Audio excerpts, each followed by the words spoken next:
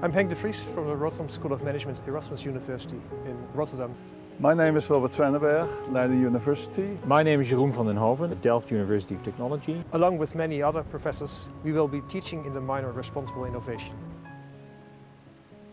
What is so unique about this course is that it combines the expertise and the traditions of these three universities and that from these different backgrounds we are able to provide the students with a 360 degree perspective on responsible innovation.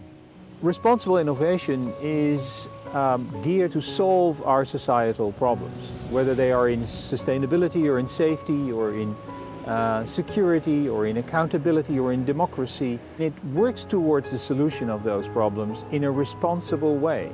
Most innovation projects benefit companies. In this course we want to go further. It's not only for the benefit of companies, but about avoiding disadvantages of innovation, but even better, how can we develop innovations that are really beneficial to society? What students can expect in this minor is that they will be able to obtain all kinds of reflective and critical skills that they need if they want to be a responsible innovator. We will take our start from real-world cases.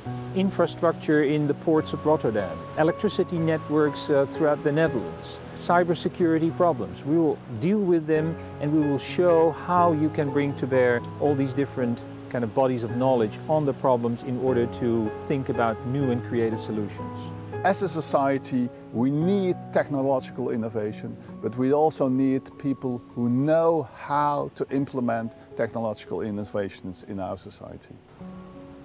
If you want to be prepared for solving the problems of tomorrow in a responsible way, you need to enroll in this course.